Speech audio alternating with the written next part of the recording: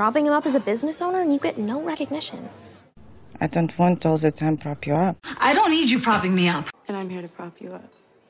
Catch catches on quick. Propping you up so you don't crack.